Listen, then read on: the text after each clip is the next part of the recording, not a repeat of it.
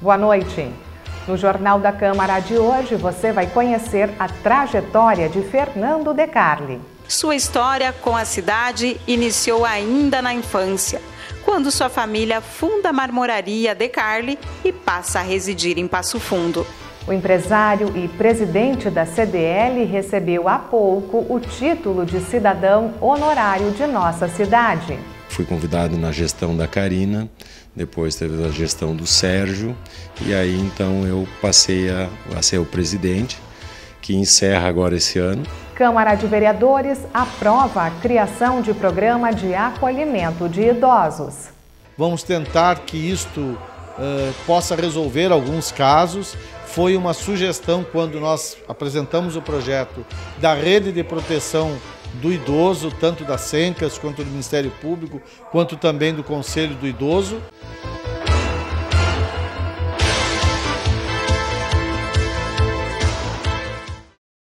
A Câmara de Vereadores acabou de fazer um reconhecimento a Fernando De Carli.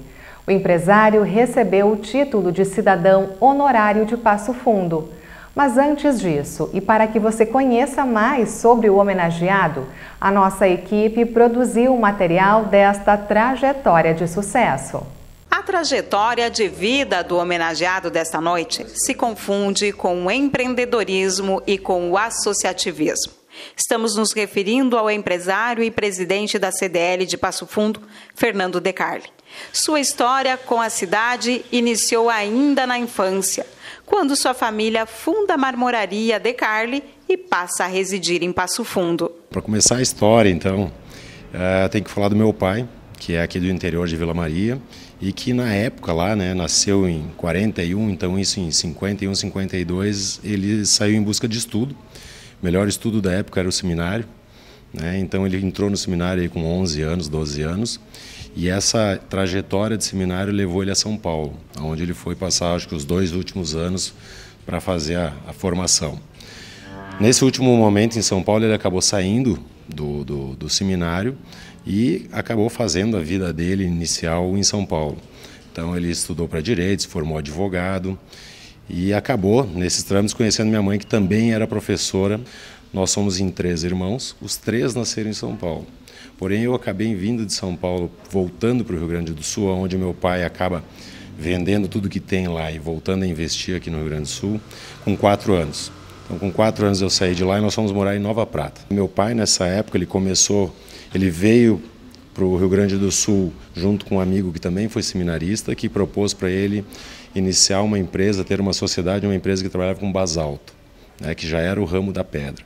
Então ele começa com essa empresa de basalto, onde cortam chapas de basalto. Ele fica uns dois, três anos com esse sócio, depois ele vende a parte dele, compra uma outra empresa que trabalha com pedras, só que aí vai para pedras semi-preciosas. Nesse sentido, meu pai não tinha esse conhecimento para trabalhar bastante com o mercado externo, começou a ter dificuldades nisso aí, começou a ver uma outra possibilidade de né, dar continuidade no, no trabalho, no, no, no processo.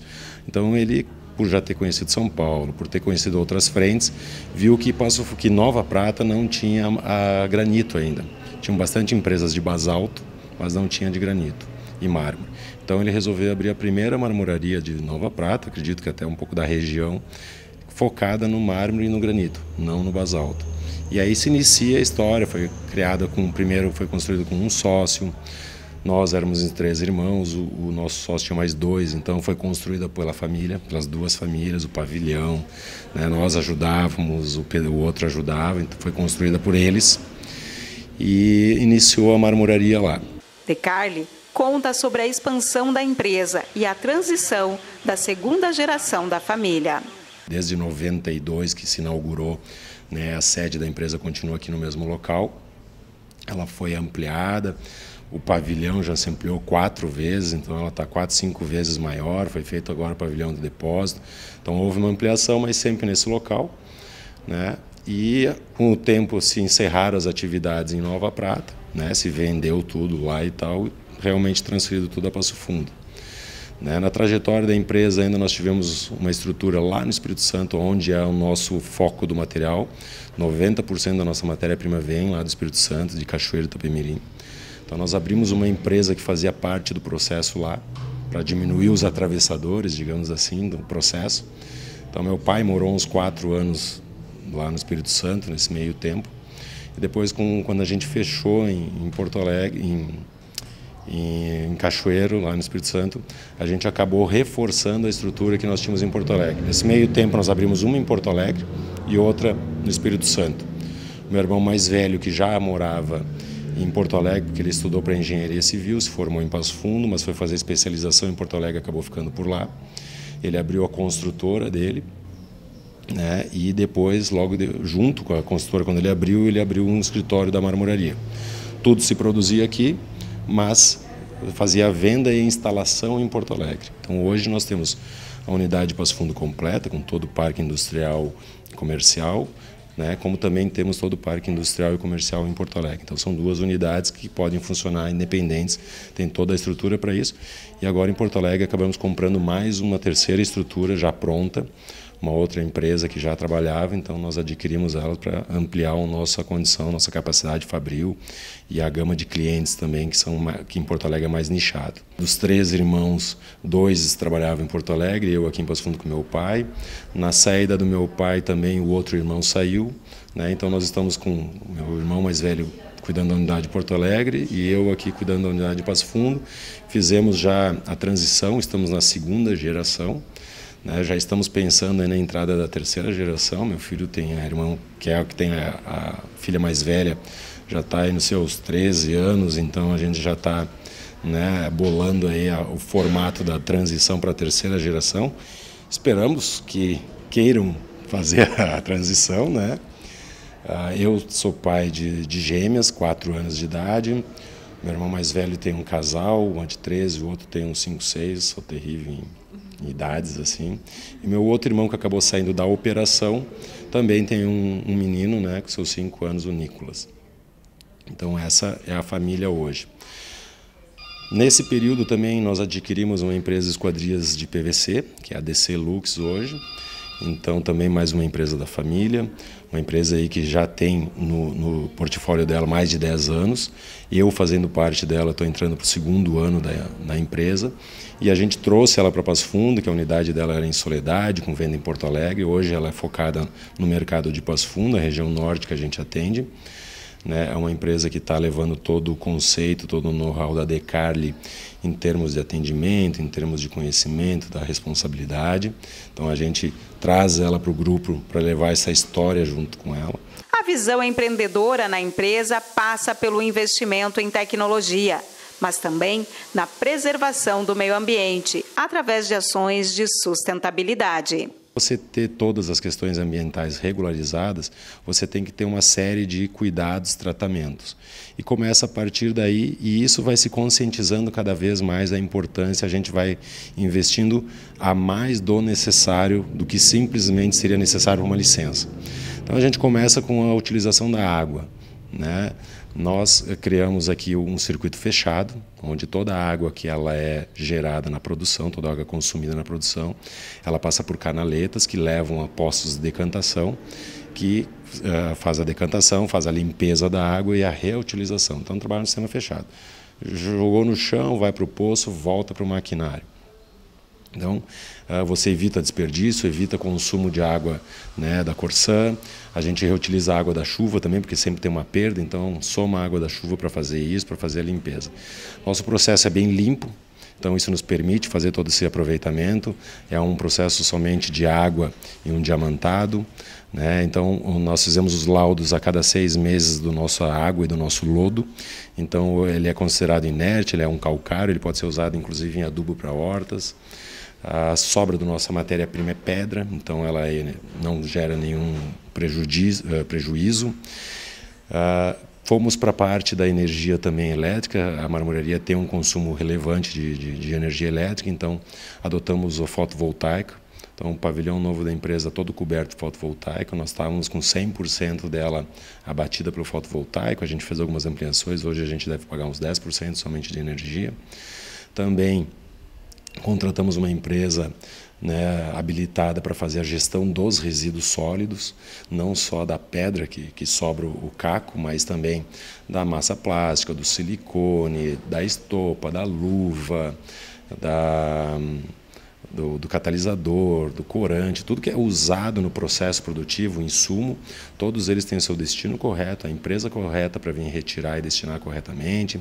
O que a gente pode reciclar, papelão, plástico, ferro, então a gente recicla, faz um caixinha para fazer os eventos para os funcionários, para o churrasquinho, para alguma coisa.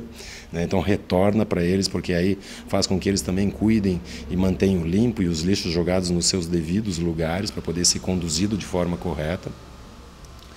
Nós também estamos indo atrás das certificações, porque todo o nosso processo ele é sustentável. A pedreira que nós compramos, nós temos milhares de empresas para comprar, mas nós compramos de 10, 12 empresas que nós conhecemos, que nós sabemos que a pedreira é autorizada, que a pedreira é certificada e que no seu processo de industrialização também ele está certificado, ele está autorizado e licenciado, para que todo o nosso processo, desde a extração até a entrega ao nosso cliente final, possa ter uma, uma rastreabilidade e entregar um selo de sustentabilidade, de, de, de um pensamento ecologicamente correto. E no próximo bloco seguiremos apresentando a trajetória de Fernando De Carne e a sua atuação como presidente da CDL. Nós voltamos em um minuto.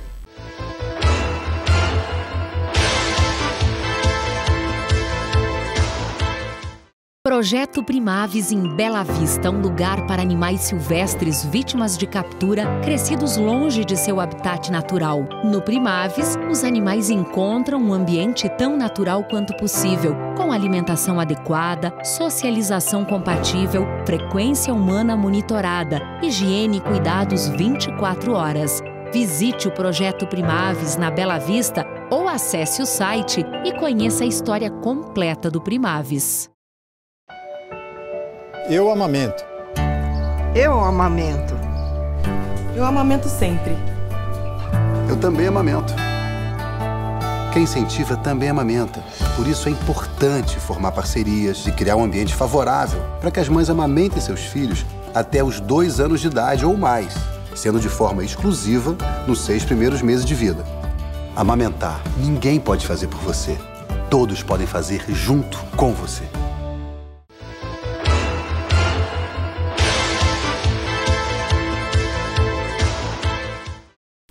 Bloco anterior, você conheceu parte da história do homenageado. Mas além de administrar empresas nos ramos de mármores e granitos, Fernando De Carli também está à frente da CDL. Essa visão empreendedora e o fomento ao corporativismo e ao associativismo sempre foi muito presente na família. Tanto que aos 20 anos ele já fazia parte da CDL Jovem na cidade tinha um movimento dentro da CDL, né, de desenvolver novas lideranças, possíveis futuros uh, participantes da diretoria, e foi criado por alguns anos essa CDL Jovem, inclusive eu fui presidente da CDL Jovem, e hoje na minha diretoria tem vários colegas daquela diretoria, né, que fazem parte, estão aqui juntos hoje. Então, tinham alguns que já faziam parte e hoje a gente trouxe aquela galera. Funcionou, valeu a pena. Né? Uh, participei também já da, da CISA Jovem, que teve um movimento. Né? Agora, mais recente, já fui, agora sou de novo diretor do Sinduscom, também a minha empresa sendo uma empresa da construção civil, a gente sempre fez parte, né? E aí então eu represento também lá dentro do Sinduscom. E agora nessa desenvolvimento eu fui convidado de novo a fazer parte da diretoria principal né? Eu fui convidado na gestão da Karina, depois teve a gestão do Sérgio, e aí então eu passei a, a ser o presidente, que encerra agora esse ano, está no DNA. Né? Desde quando a gente talvez não percebia tanto, que era lá nos seus 20 anos, né? e agora mais ainda.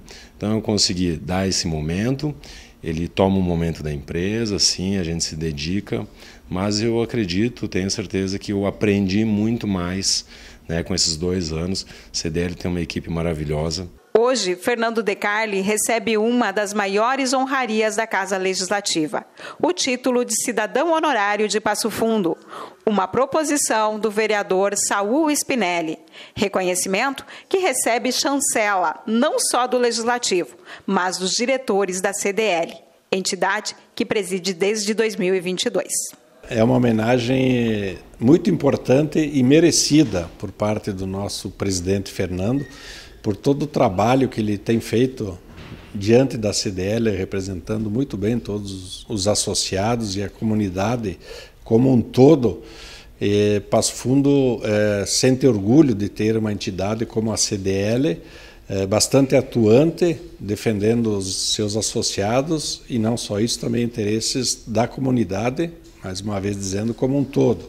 É, e o Fernando, nosso presidente, tem feito um trabalho muito forte, muito intenso durante toda a gestão dele, acompanhado com a, a sua diretoria, prestando apoio, mas todos sempre muito tranquilos pelo forte trabalho que o presidente tem realizado. A CDL cresceu muito. Ela hoje está com em torno de 1.400 associados e então realmente precisa para, para um presidente dar muito trabalho, muita dedicação e muita competência. Isso não faltou ao presidente né, de Carli, né, que eh, fez o seu trabalho com muita competência, com muita criatividade em fazer com que a nossa entidade crescesse cada vez mais. Nós, nós temos assim, podemos elencar uh, as ações da, da entidade, que foi muitas, mas eu gostaria de citar três ações assim que nós tivemos no mandato do Fernando, que foi a, as, os comitês, a formação dos comitês, o comitê, o comitê de segurança pública, que foi muito importante, porque toda a cidade precisa, é, para crescer e se desenvolver, precisa de uma segurança. Né? E, a, e, nós temos o Comitê de Segurança, nos reunimos uma vez por mês para uh, debater e colaborar com a segurança pública. É, foi criado também o Comitê das entidades, né? fez com que a, a, união das entidades seja, esteja presente, né? todas as entidades juntas, é bem mais fácil de, de, de, de, reivindicar o que nós precisamos para a nossa cidade, para a nossa comunidade. E, e também teve, nesse, nesse período do, do De Carli, a, a, a criação, do, a reativação do, do CONCEPRO, né, que foi muito importante. E essa homenagem é mais que merecidamente para ele, porque foram dois anos de árduo trabalho representando a nossa entidade, que vai completar agora 60 anos. E a gente tem esses uh, privilégios de, durante o percurso desse, dessa nossa entidade, de encontrarmos pessoas como o Fernando. Uma pessoa de alto nível, muito compreensiva, muito inteligente e, além do mais, uma pessoa de fácil trato e isso é, fa é, favorece a, a comunicação da entidade, favorece a entidade e nos dá uma liberdade também de colocar opinião. A, a, entidade como um todo, né, ela tem vários presidentes, né, e durante esse período se alterna presidentes jovens e presidentes mais experientes. E o Fernando foi um presidente jovem, né, e nós tivemos essa grande satisfação e esse privilégio de conviver com ele durante esses dois anos como presidente merece todo esse reconhecimento, assumiu muitos desafios, plantou muitas sementes, colhemos coisas boas e com certeza ainda colheremos muito mais. Eu fico muito orgulhosa de fazer parte da CDL e ter sim feito parte da diretoria do Fernando, porque sei que foi um belo trabalho que terá aí muitos anos de continuidade. Parabéns pelos desafios assumidos, Fernando.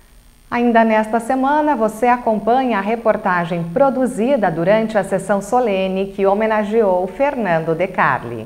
E agora vamos conhecer um projeto do Poder Executivo votado em plenário.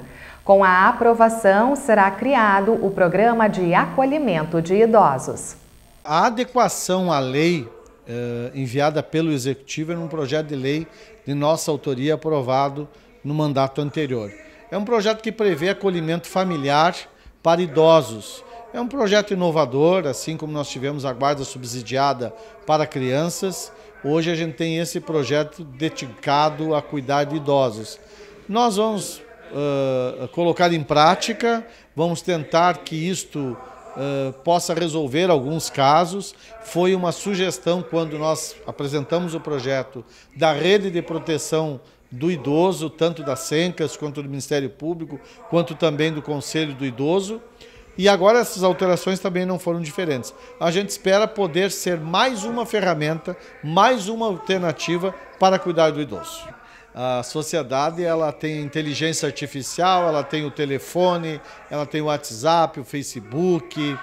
Hoje toda a tecnologia para acender uma luz você não precisa mais levantar do banco, para você é, qualquer coisa. A inteligência artificial está tomando conta, mas lamentavelmente nós não estamos conseguindo mais lidar com gente. Né? As pessoas não, não gostam mais do vô, não gostam mais da avó, tem pai que não gosta, não tem paciência para educar o filho, quando tem uma reunião na escola tem dificuldade de arrumar uma agenda para ir na escola, mas não desliga o telefone. Sabe que eu até faço um desafio, que as pessoas possam colocar no programa e verificar quanto tempo eles ficam nas redes sociais e no telefone. Eles vão ver que se dedicar 10% a isso, aos filhos, vão entregar ao mundo filhos mais bem educados.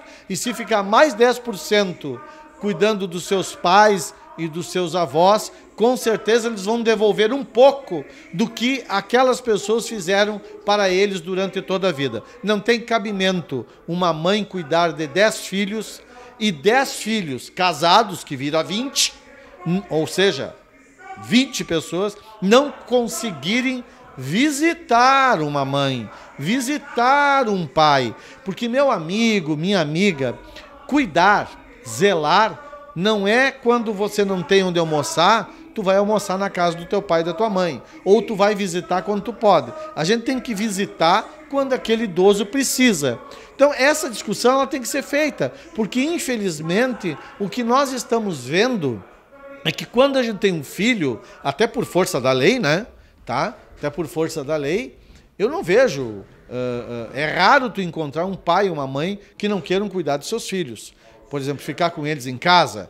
Não, eu, eu vim aqui para entregar o meu filho. Eu quero internar o meu filho numa casa de acolhimento. Não existe isso. Só existe isso só quando existe a violência, a agressão e a violação dos direitos. O que eu quero dizer é que, às vezes, um pai e uma mãe, eles deixam de estudar para cuidar do filho, eles deixam de comprar alguma coisa para que o filho tenha Uh, condições de se alimentar, de moradia, até mesmo de escola.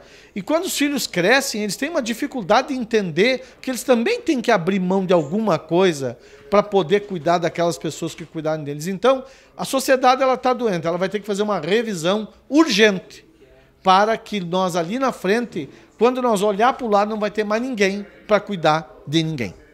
E o Jornal da Câmara desta segunda-feira, 4 de dezembro, termina aqui. Uma ótima noite e um bom início de semana.